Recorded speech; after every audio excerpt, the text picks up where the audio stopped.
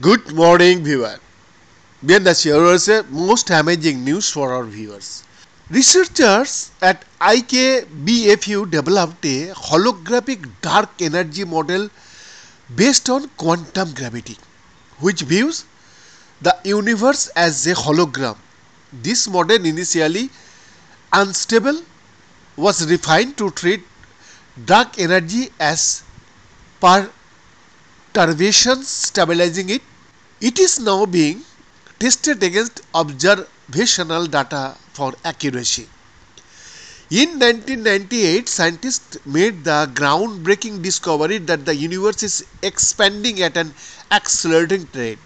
To account for this phenomenon, they introduced the concept of dark energy, a mysterious form of energy that permeates all of space time yet remains undetectable through direct observation.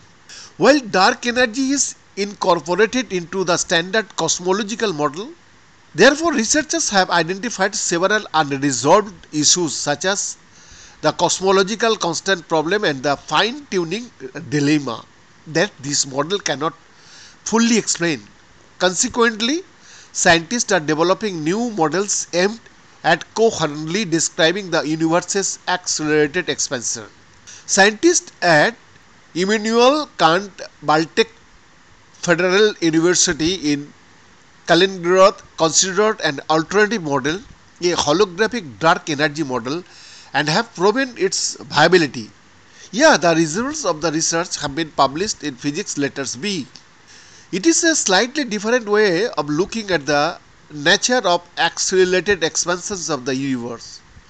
It stems from the holographic principle which follows from quantum gravity and string theory. According to it, all values inside a certain amount of volume can be described by parameters that are observed on its boundary. In other words, the universe can be represented in the form of some hologram and it can be described by the parameters on its boundaries, says Alexander Tepliakov, junior researchers at the Laboratory for Mathematical Modeling of Complex and Non-Linear System at IKBFU. A new model of holographic dark energy was suggested within the holographical principle in 2004. However, the new model also had a drawback the thing is, the dark energy is usually represented as some kind of liquid and homogeneously and evenly fills the universe. A special parameter called square of the sound velocity is used to analyze the fluctuations inside the liquid. If it turns out to be negative as a result of calculation, the model is considered unstable. Previous studies carried out as part of a holographic dark energy model had a negative sound speed square too. Beyond this exclusive report.